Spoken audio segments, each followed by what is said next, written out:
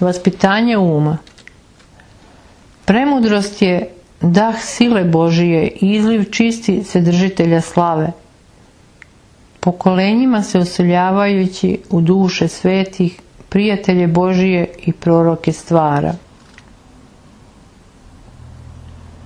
Istina je temelj i razlikovanje svega, ma šta da je stvoreno, i neka u tvojim delima, unutrašnjim i spoljašnjim, istina bude temelj svega, a posebno neka bude temelj molitve.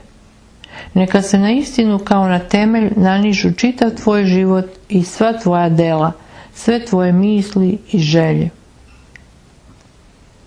Kako da gledamo na darove uma, osjećanja i slobode? Trebalo bi da umom poznamo Boga na osnovu njegovih dela, stvaranja, otkrivenja, promišljanja iz ljudskih sudbina. Srcem treba osjećati ljubav Božiju, njegov prenebeski mir, sladost njegove ljubavi. Treba ljubiti bližnjeg, saosjećati sa njim i u radosti i u žalosti, u zdravlju i u bolesti, u bogatstvu i siromaštvu, kada je na visokom položaju i kada je unižen. Slobodu pak treba upotrebljavati kao sredstvo, kao oruđe za to da učinimo koliko je god moguće dobrih dela, na usavršavanje samih sebe u svakoj vrlini, kako bismo Bogu prinijeli stostruko umnožen plod. Neka ti sva poznanja koja se tiču vere svakde budu kao nova, to jest neka svakda imaju podjednaku važnost, svetost i privlačnost. Šta znači tražiti razonodu? To znači poželiti da se bilo čim ispuni unutrašnja bolesna praznina duše, stvorene zbog delanja, duše koja ne trpi da bude besposlena. Zapamti, um je sluga srca koje je naš život. Ukoliko on, um, rukovodi srce ka istini, miru, radosti i životu, on onda ispunjava svoje naznačenje. On je istina. Ukoliko nas pak um vodi ka sumnji, nespokojstvu, mučenju, čamotinji i tami, onda se on udaljuje od svog naznačenja i neminovno je lažljiv. Lažno znanje. Ako pak srce usled verovanja u nešto osjeća spokojstvo, lakoću i sladost, onda je to dovoljno i od razuma ne bi trebalo tražiti da dokaže istinitost te stvari. Ona je nesumnjivo istinita, srce se u to ubeđuje svojim životom, jer je cilj svih traganja istina i život. Ne gledaj na lepotu ljudskog lica, nego gledajte na čovekovu dušu. Ne gledaj na njegovu odeću. Telo je privremena odeća nego gledaj ko se u takvu odeću oblači. Ne gledaj na velelepnost doma, nego gledaj na njegovog žitelja, ko živi u tom domu i kakav je on, jer ćeš u protivnom ražalostiti lik, obraz Božiji u čoveku, uvredit ćeš cara time što ćeš se pokloniti njegovom slugi, ne ukazavši njemu ni najmanju čast koja mu dolikuje. Isto tako, ne gledaj na lepotu štampanih slova u knjizi, nego gledaj na duh knjige, jer će mu protivnom uniziti duh, a uzvisiti telo, pošto su slova telo, a sadržaj knjige njen duh. Ne zavaravaj se melodičnim zvukovima instrumenta ili glasa, nego prema utisku koji ostavljaju na dušu ili prema njihovim rečima prosudi kakvi su. Ako ti zvukovi unose u tvoju dušu tiha, celomudrena i sveta osjećanja, onda ih slušaj i hrani njima svoju dušu. Ako se pak njihovim posredstvom u tvoju dušu ulivaju strasti, onda prestani sa slušanjem i odbaci i telo i duh takve muzike. Prilikom obrazovanja veoma je štetno ukoliko razvijamo samo um i razum, ne obraćajući pažnju na srce. Na srce bi trebalo obraćati veću pažnju nego na bilo šta drugo. Srce je život, ali život je iskvaren grehom. Mora se očistiti taj izvor života, U njemu se plame života mora zapaliti tako da gori i da se ne ugasi, usmeravajući sve čovekove misli, želje i težnje, vasceli njegov život. Društvo je iskvaren upravo zbog nedostatka hrišćanskog vaspitanja. Vreme je da hrišćani razumeju gospoda, da shvate šta on od nas traži, jer on traži upravo čisto srce, blaženi čistoga srca. Oslušnite njegov preslatki glas u evanđelju. Istinski život našeg srca jeste Hristos. Živi u meni Hristos. Naučite se svoj mudrosti apostola, to je naš zajednički zadatak, da sa verom usalimo Hrista u srce. Neobrazovanje, nerazvijanje, neumekšavanje i neispravljanje srca hiljadu puta je dostojnije prekora nego neobrazovanost uma. Neobrazovan je zaostao čovjek, dostojan popustljivosti i sažaljenja, dok je onaj obrazovan, ali prepušten strastima i porocima, zlobi, gordosti, bezobzirnosti, zavisti, stomakugađanju, prejedanju, pijanstvu, koristoljublju, bludu i drugim strastima, i pored svog velikog znanja, kao i poznavanja volje Božje, čovjek bez osjećajnog srca, mrtav za Boga, budući da pravila koja je naučio ne primenjuje na delo i ne izvršava volju Božiju, nego je narušava sa još većom neustrašivošću i drskošću nego onaj neobrazovani. Kod neobrazovanog čoveka postoji prostota srca, krotkost, nezlobivost, smirenje, čutljivost i trpljenje, koje je pred Bogom dragocenije od svih naših saznanja, od sveg spoljašnjih sjaja, svih naučenih izraza, svih izveštačenih učtivosti, svih dugotrajnih molitava, svih visokoparno smišljenih reči. Čak se i sami grehovi, ako su grehovi neznanja, mogu oprostiti. Usled toga poštuj prostodušnu neobrazovanost i uči se od nje onome što ne posjeduje prividno obrazovani, to jest uči se prostodušnosti, nezlobivosti, trpljenju i ostalom. Neobrazovani su deca u Hristu, kojoj Gospod ponekad otkriva svoje tajne.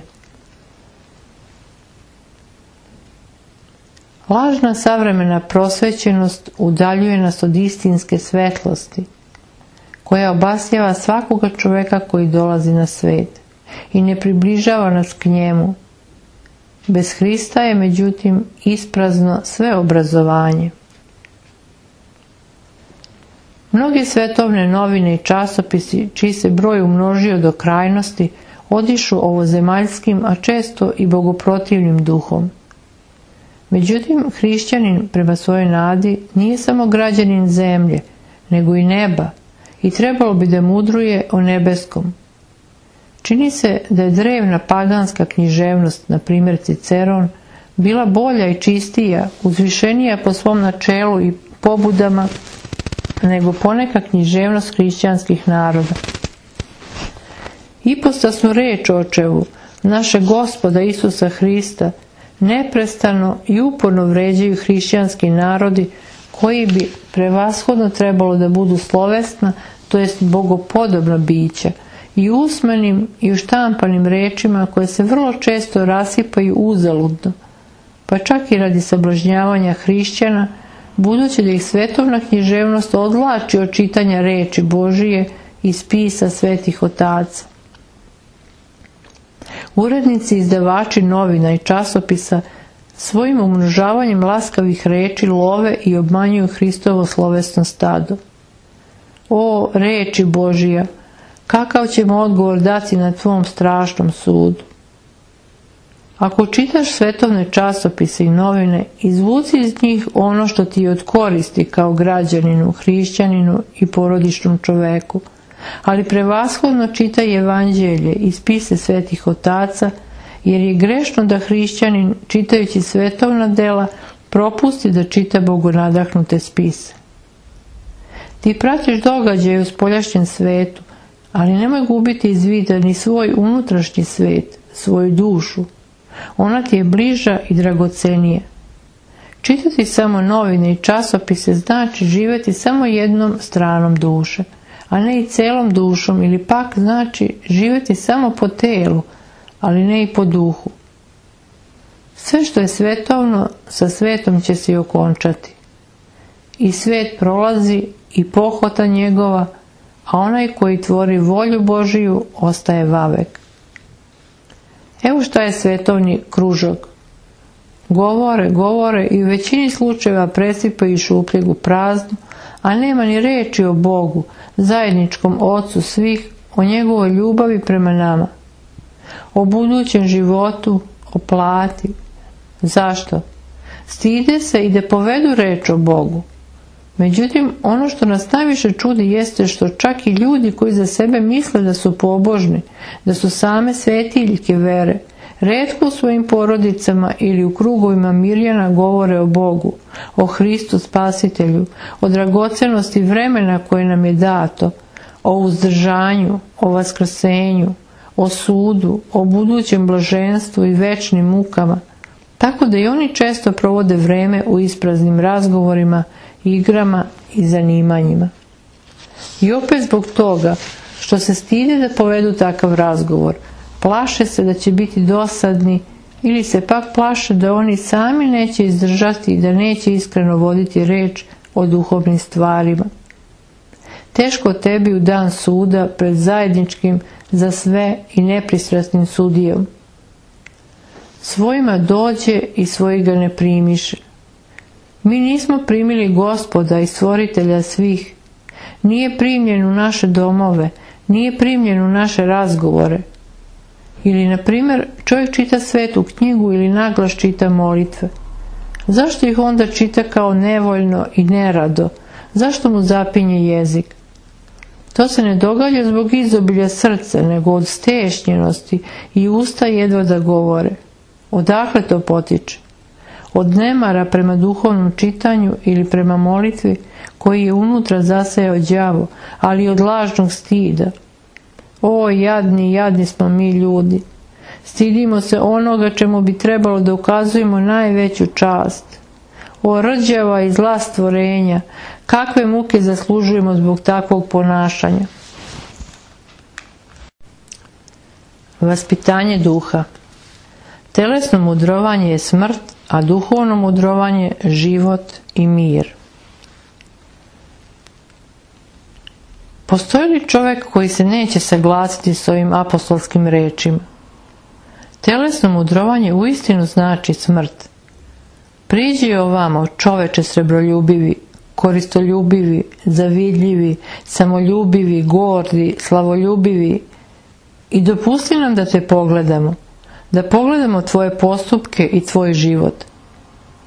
Razotkrij nam, ako hoćeš, pomisli svoga srca.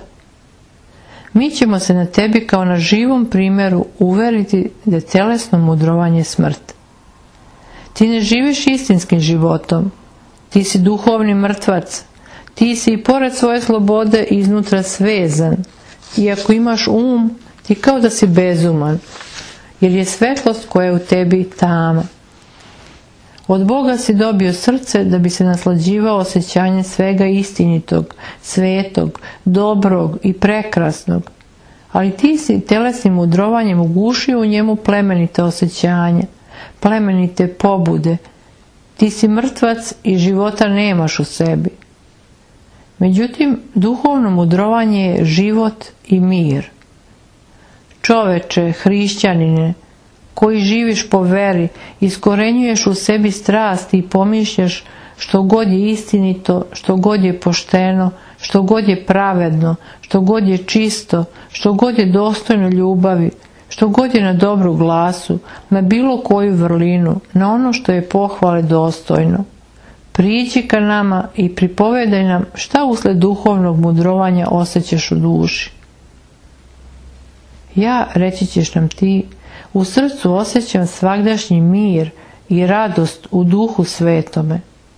Osjećam širenje srca i preobilje života i posmevam se svemu telesnom, čudeći se kako ono ima tako veliku moć nad srcima telesnih ljudi i pored toga naslađujem se neprestanim suzrcanjem nebeskih, duhovnih, nevidljivih dobara, pripremljenih onima koji ljube Boga. Ko ne sabira sa mnom rasipa, kaže gospod.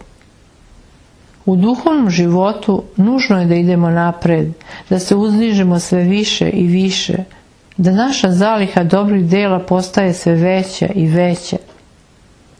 Ukoliko stojimo na jednoj tački moralnog usavršavanja, na jednom istom stepenu lestvice hrišćanskog ushođenja, onda je to isto kao da se krećemo unazad.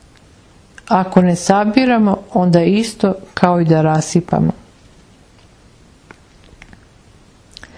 Ispod svetovne taštine, ispod mraka svoga tela, nesvezan iskušenjima lukavoga, unutrašnji čovjek slobodnije izgleda ujutro, posle buđenja, kao riba koja ponekad iskoči na površinu vode. Sve preostalo vreme on je pokriven gotovo neprozirnom tamom. Na njegovim očima leži bolan povez koji od njega skriva istinski poredak duhovnih i čulnih stvari. Lovite jutarnje sate, jer to kao da su časovi novog života, obnovljenog privremenim snom. Oni nam delimično ukazuju na ono stanje kada ćemo ustati obnovljeni u zajedničkom jutru nezalaznog dana vaskrsenja ili kada se razrešimo od smrtnog tela. Tokom noći naša duša je slobodna od svetovne taštine, zbog čega u njoj slobodno može da dejstvuje duhovni svet. Ona slobodno može da prima njegove uticaje, tako da čovekove misli i srčane sklonosti postaju misli i sklonosti samog gospoda ili anđela i svetih, ukoliko je čovjek pravedan. Naprotiv, one postaju misli i sklonosti đavola ukoliko je on nepokajni grešnik. Kada su u pitanju uobičajena ljudska saznanja, kada jednom dobro upoznaš neki predmet, onda ga dobro poznaješ čitavog života – bez ikakvih pomračenja saznanja o njemu. U, ve, u veri pak nije tako. Jednom si poznao, osetio, opipao i misliš, predmet vere će svakda biti tako jasan, opipljiv i drag mojoj duši. Međutim, ne biva tako.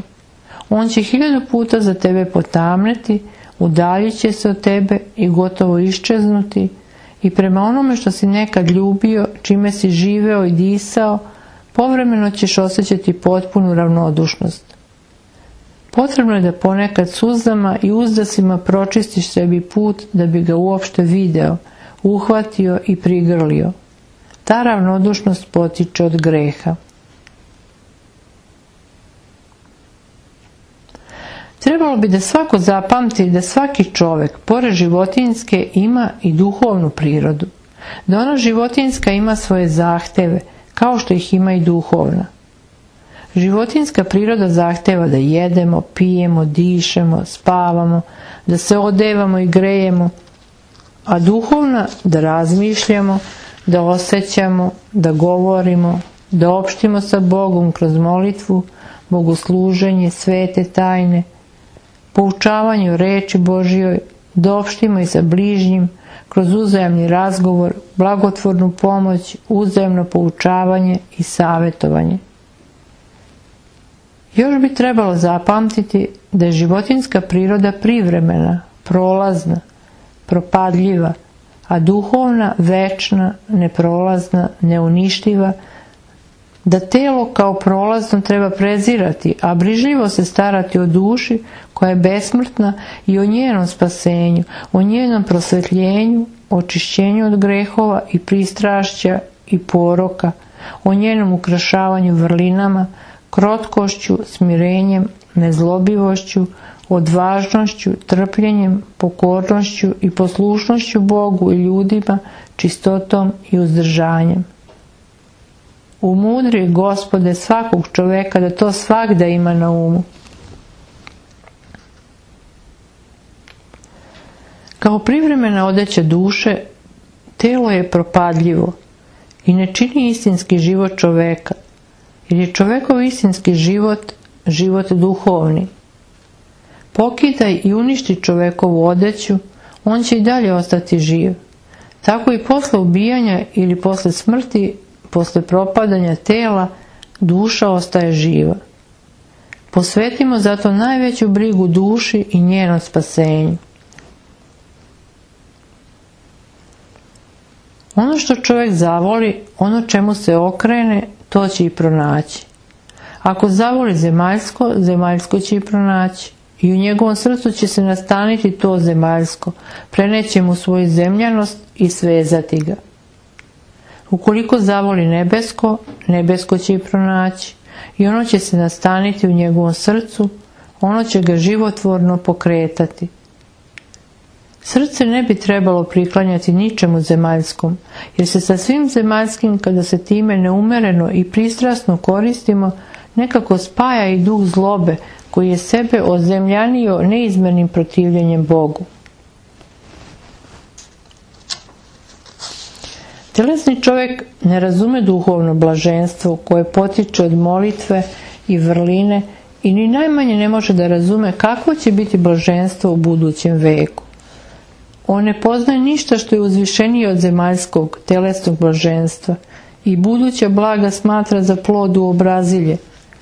Duhovni čovjek, međutim, iz iskustva poznaje blaženstvo vrlinske duše i unapred srcem okuša buduće blaženstvo. Ukoliko čovjek više vodi duhovni život, utoliko biva više produhovljen. On počinje u svemu da vidi Boga, u svemu da vidi projave njegove sile i svemogućstva, svagda i svuda vidi da on sam obitava u Bogu i da u svemu, čak i u onom najmanjem, zavisi od Boga. Međutim, ukoliko čovjek više vodi telesni život, on utoliko više postaje telesan, ni u čemu ne vidi Boga, pa čak ni u najčudesnijim projavama njegove božanske sile. U svemu vidi telo, materiju i svuda u svako vreme nema Boga pred očima njegovim. Obraćate li dovoljno pažnje na stanje svoje duše? Da li je ona zdrava i ukoliko je živa, da je i njen život stabilan, ako ovdašnji privremeni život provodi u blagostanju, da li je nečim obezbeđen večni život, večno blagostanje, na primjer verom? Postoji li u tvojoj duši živa vera u Boga, u spasitelja, u crkvu, dobrim delima, krotkošću, smirenjem, nezlobivošću, pravdoljubljem i čestitošću, uzdržanjem, celomudrenošću, milosrđem, trpljenjem, pokornošću, trudoljubljem i ostalim. U protivnom slučaju, sav tvoj trud je uzaludan. Duša možda čini mnoge stvari koje su dostojne divljenja, ali će ona sama propasti. Kakva je korist čoveku ako sav svet zadobije, a duši svoje naudi? Sva moja sreća ili nesreća sadrži se u mislima i raspoloženjima srca. Ukoliko su misli i raspoloženja moga srca saglasni sa istinom Božijom ili sa voljom Boga mojega, tada sam spokojan, ispunjen duhovnom svetlošću, radošću, blaženstvom. Ukoliko pak nisu, onda sam nespokojan, ispunjen duhovnim, dušegubnim mrakom, te skobom, čamotinjom. Ako potpuno promeni misli i raspoloženja srca i ako oni od lažnih i bogoprotivnih postanu istiniti i bogougodni, tada ću opet biti spokojan i blažen. Ukoliko neka misao za srce znači život, onda je ona istinita. Ako pak znači mučenje i smrt srca, onda je laž. Naš gospod je mir i život i mirom i životom počiva u našim srcima. Mir je celovitost i zdravlje duše. Gubitak mira je gubitak duševnog zdravlja. Kada u mojoj duši caruje sveti mir pomisli, tada u meni sigurno počiva car mira, gospod Isus Hristos sa Ocem i Svetim Duhom. Tada sam posebno obavezan da se ispunjavam osjećanjima blagodarnosti prema načalniku mira i da se svim silama trudim da molitvom i udaljavanjem od svakog greha, unutrašnjeg i spoljašnjeg, sačuvam u sebi taj mir srca. U čemu se sastoji život hrišćanina? Da nema ništa i da ima Hrista u srcu ili da se imajući ovo zemaljska dobra ni najmanje ne privezuje za njih nego da se svim srcem priveže za Hrista. Ja sam slabost i siromaštvo, Bog je moja sila. To uverenje je moja uzvišena mudrost koja me čini blaženim. Gospode, neka se moje srce priveže za Tebe jedinoga i neka se ne privezuje ni za šta zemaljsko, jer su u privezivanju za zemaljsko nesreća, teskoba, patnja. Ništa od zemaljskoga neka ne bude drago mome srcu i neka više od svega nebeskog i zemaljskog cenim jedinog gospoda i dušu stvorenu prema njegovom obrazu, dušu besmrtnu, razumnu, slovesnu, dah usta Božijih. Neka za srce ne postoji zemaljski idoli, novac, hrana, odeća, činovi, znakovi odlikovanja i ostalo. Trebalo bi koristiti najjednostavniju, ne mnogo ukustu hranu, kako ne bi privlačila srce i ne bi je trebalo koristiti mnogo, nego samo onoliko koliko je potrebno za okrepljenje.